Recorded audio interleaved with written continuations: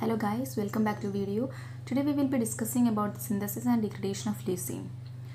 Leucine is a branched chain amino acid and it has an isobutyl R group in its structure.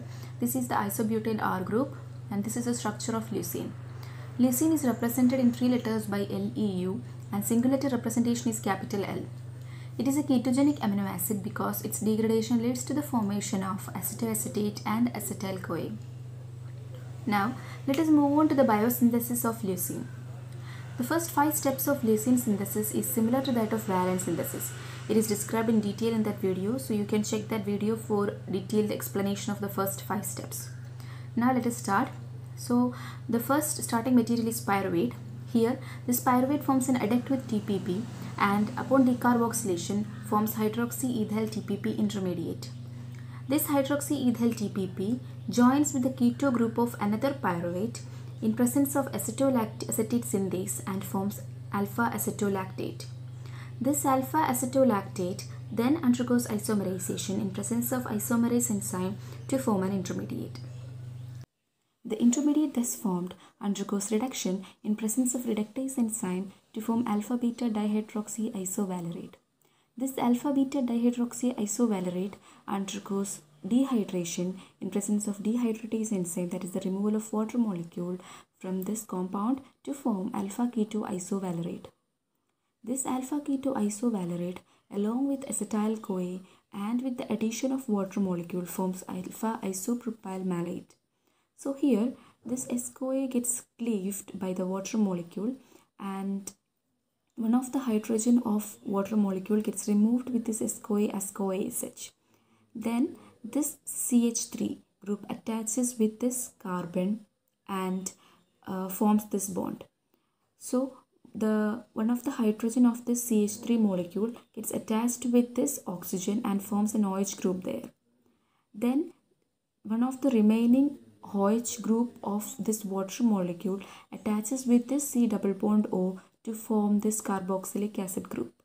Thus alpha isopropyl malate is formed.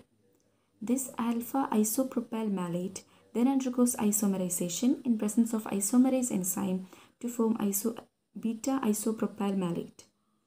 So this beta isopropyl malate undergoes dehydrogenation and decarboxylation to form alpha keto isocaproate. Here the CO2 gets removed from this carboxylic acid group and this hydrogen joins with this CH to form CH2 here. Then two hydrogen gets removed with NAD+. Plus. So one of the hydrogen is removed from here and one of the hydrogen is removed from here. Thus two hydrogen gets removed and forms this C double bond O bond. So this is the uh, dehydrogenation reaction. So beta isopropyl malate gets converted to alpha keto isocaproate. This alpha keto isocaproate then undergoes transamination reaction to form leucine. So here um, this keto group gets changed with amino group and thus forms the leucine So this is all about the synthesis of leucine Now let us move on to the degradation of leucine leucine degradation starts with transamination reaction. Here the NH2 group of leucine gets replaced with an oxygen group that is a keto group and forms alpha keto isocaproate. This alpha keto isocaproate then undergoes decarboxylation and dehydrogenation to form isovaleryl CoA in presence of decarboxylase enzyme.